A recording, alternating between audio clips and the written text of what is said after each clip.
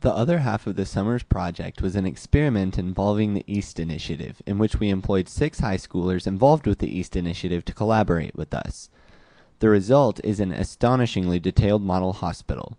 The East Island itself is a separate landmass from that which you've already seen. This hospital was entirely created by the six teenagers as a direct representation of Washington Regional Hospital, which we toured and photographed. It contains not only detailed models of hospital furniture, but also functional units such as showers, toilets, sinks, computer systems, and lab equipment. First, you see a modeled bathroom that functions similarly to a real one. The toilets flush, the sinks turn on and off, and showers cascade water when the knobs are twisted. This is all accomplished through use of the client's particle effects engine, which the East collaborators mastered and combined with LSL scripting to create realistic effects. The reception desk allows for AI bot receptionists who collect patient check in information. Next, we will walk into the neonatal unit, which, as you will see, includes modeled infants. These infants can be scripted to cry for food, changing, and attention, and AI nurses can be scripted to respond appropriately. As we traverse the hallways toward the next lab, it is important to remember that all of the signs, decorations, and equipment you see along the way comes directly from real world equivalents in each area.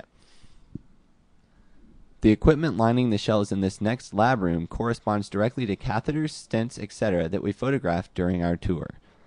The large lab equipment in the middle of the room is a modeled representation of a catheter analysis machine, once again from a photograph. The virtual equipment allows an avatar to lie down, have his or her arteries scanned for blockages, then have the resulting information synced to the patient's records via database interaction. Up next is an intensive care unit. Although we currently have no patients in critical condition and the rooms do appear a bit empty, you will notice that there is a TV inside of each room. Each of these TVs is tied to a streaming media protocol as well as offering a remote control.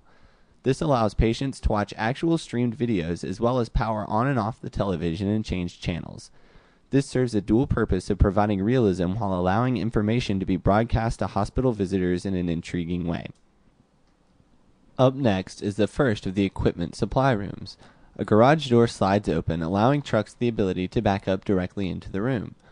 Boxes of supplies can then be unloaded and stocked in the room, awaiting the need for more equipment. Each of these boxes was again textured to match actual medical supply boxes. Up next is a centrally located individual equipment stockroom. In this room are large amounts of individually tagged objects which can quickly be located and snagged by nurses as needed. An RFID scanner at the door is capable of recording when items enter and leave the room, thus keeping real time inventory tracking accurate as well as billing proper patients for the use of each item. The following room contains a first generation X ray machine which avatars can stand on to receive X ray analysis. The room across the hall contains an MRI machine that is capable of sliding a patient inside, performing its job, and then sliding the patient back out. This process can be automated to a large degree, syncing the results with the patient's record via scanning the patient's RFID tag. The next room is the full catheter room, complete with a desktop computer terminal and buttons for raising and lowering the machinery into place. The computer terminal is interactive and functional, as are all of its drawers and cabinets. The computer setup is used to view radioactive dye spreading throughout a patient's circulatory system in a user controlled manner. This allows a doctor the ability to diagnose arterial blockages. The resulting video can then be stored in a related database corresponding to the patient and retrievable from any computer on the network. We will now see the catheter machinery in action. A prepped patient enters and lies on the table. From there, a nurse pushes the activation buttons to lower the machinery into place. Once the analysis of the patient is complete, the scenario ends and the patient is able to exit the room. Doctors can then study the resulting video and successfully diagnose the patient. The next scenario showcases a full emergency chain. It begins with an unlucky man being hit by a speeding car. An emergency worker receives notification of the accident and hops into an ambulance with the option of utilizing an air rescue helicopter, which will be shown later. This ambulance is then driven to the scene of the accident. From here, the rear doors pop open and the injured man is loaded into the ambulance. Once the man is collected by the ambulance, he can be stabilized and given a personalized RFID tag for hospital use. Once the patient has been admitted to the hospital, we see him lying in an operational hospital bed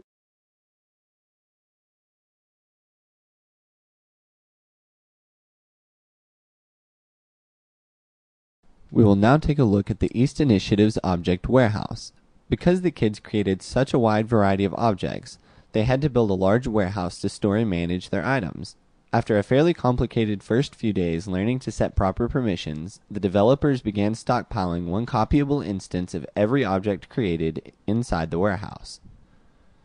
This allowed other people full access to utilize, copy, and improve every item at any time. If you look closely as we walk through the warehouse, you will see medical equipment mixed in with everything from guitars to gazebos and even a huge flying cat in a hat. Once the first of the East avatars turns 18 years old, these items will be able to be transferred via inventory to the main grids project. They will then be available for implementation on both islands, as well as remaining fully editable and upgradable as functionality is added to each.